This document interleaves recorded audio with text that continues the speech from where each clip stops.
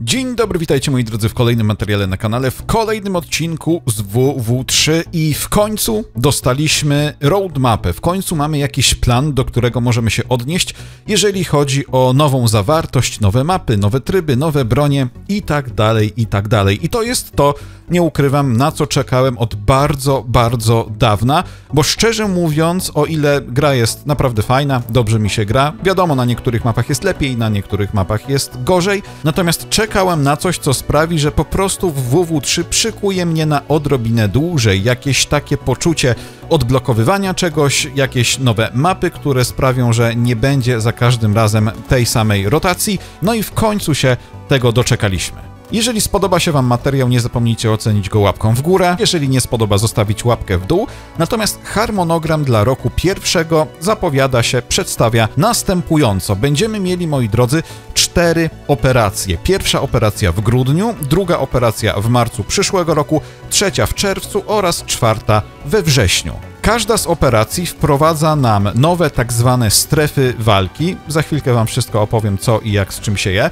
Zawartość sezonową, nowe mapy, nowe tryby oraz inne rzeczy, które również zostaną wprowadzane. Najczęściej będą to jakieś nowe funkcje rozgrywki oraz różnego rodzaju poprawki. Cytując deweloperów, operacje to ograniczone czasowo wydarzenia, którym towarzyszą obszerne aktualizacje.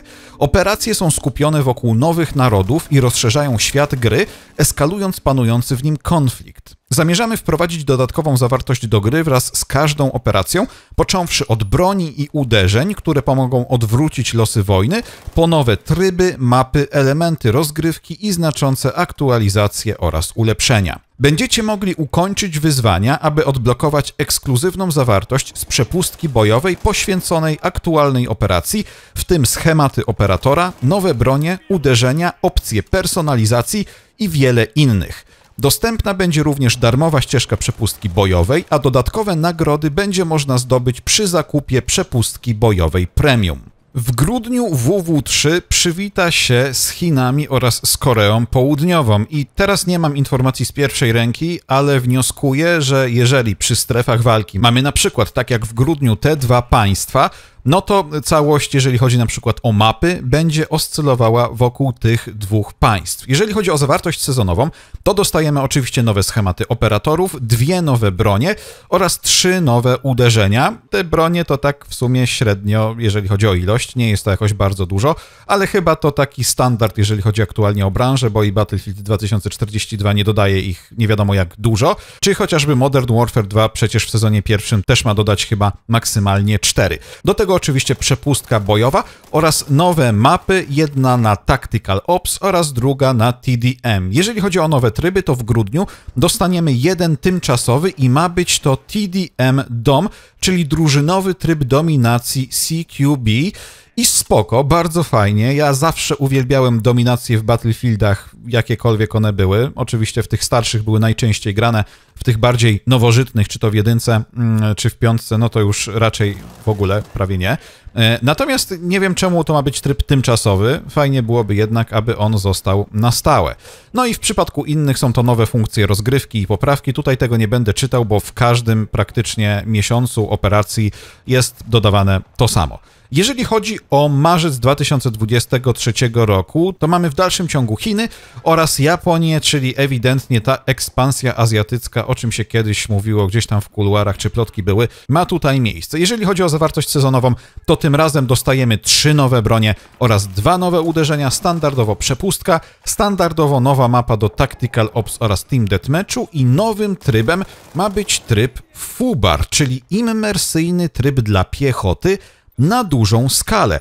I to jest dosyć ciekawe, bo teraz powiedzmy te Tactical Ops, czyli taki klasyczny podbój z przejmowaniem flag, mieści w sobie 40 żołnierzy, więc ciekawi mnie, czy ta duża skala wojny dla piechoty to będzie 64 osoby, może odrobinę więcej, bo zakładam, że jednak tych żołnierzy będzie więcej na polu walki. No i czym będzie charakteryzował się ten tryb gry? Czy będziemy przejmowali sektory, czy w dalszym ciągu będziemy pozostawieni przy normalnie założeniach Tactical Ops, czy będziemy mieli flagi, czy może coś bardziej z przełamania battlefieldowego. Nie wiem, ale brzmi ciekawie i co ważne, ten tryb gry Fubar ma już zostać na stałe, nie tak jak grudniowa dominacja. W czerwcu 2023 roku przeniesiemy się do Turcji. Znowu trzy nowe bronie, dwa nowe uderzenia, przepustka bojowa, nowe mapy do Tactical Ops oraz TDM-u i nowe mapy dodane do rotacji do poprzednio dodanego trybu z marca, czyli do Fubaru. Natomiast to, co najciekawsze, we wrześniu 2023 roku, no to jeszcze sobie troszkę poczekamy i jestem ciekaw w ogóle, czy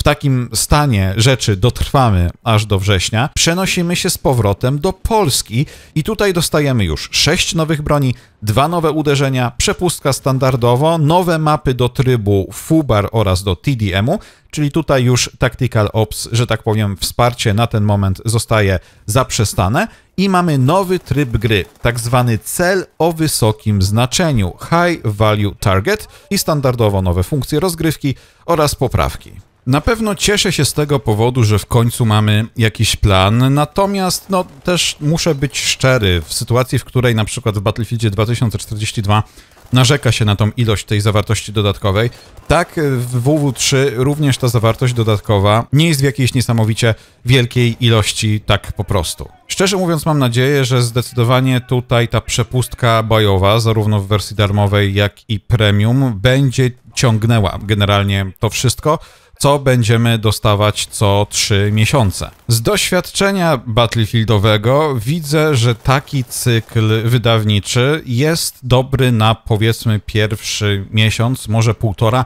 Max dwa miesiące, kiedy faktycznie ludzie chcą gdzieś wbijać te przepustki bojowe, chcą odblokowywać te różne rzeczy i też sobie zadaję pytanie, czy jeżeli na przykład mamy w tym pierwszym sezonie, w tej pierwszej operacji dwie nowe bronie i trzy nowe uderzenia oraz tam jakieś nowe schematy operatorów, to czy te dwie nowe bronie to będzie wszystko, co będzie w przepustce bojowej, bo Chyba, jeżeli byłoby ich więcej, no to automatycznie mielibyśmy nie dwie nowe bronie, ale na przykład pięć, wliczając w to te, które będą w Battle Passie.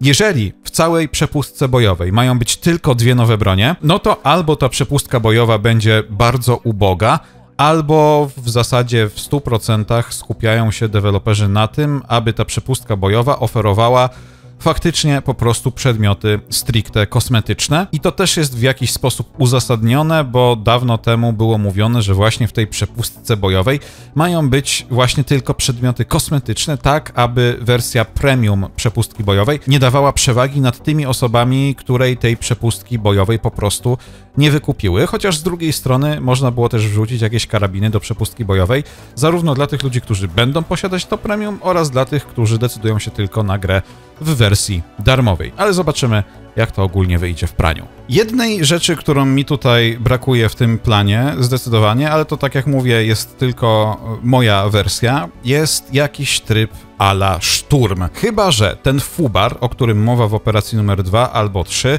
będzie właśnie takim ala szturmem, że trzeba coś podłożyć, trzeba coś uzbroić, będzie bardziej skoncentrowany na pewnej liniowości, na pewnej zadaniowości, tak aby skupić graczy piechoty bardziej w jednym, dwóch, maks trzech miejscach na froncie, bo też wydaje mi się wtedy dynamika w WW3 by bardzo, bardzo na tym zyskała. Także moi drodzy, dajcie mi znać, co myślicie na temat tej zawartości, która ma być dodana, czy jest jej za dużo, za mało, czego wam brakuje, co byście chcieli bardziej zobaczyć, co wam w ogóle tutaj nie pasuje. Pamiętajcie, Kromka Gadradzi nigdy was nie zdradzi. Zapraszam do komentowania, oceniania, subskrybowania i do usłyszenia w następnych materiałach. Trzymajcie się, pa pa!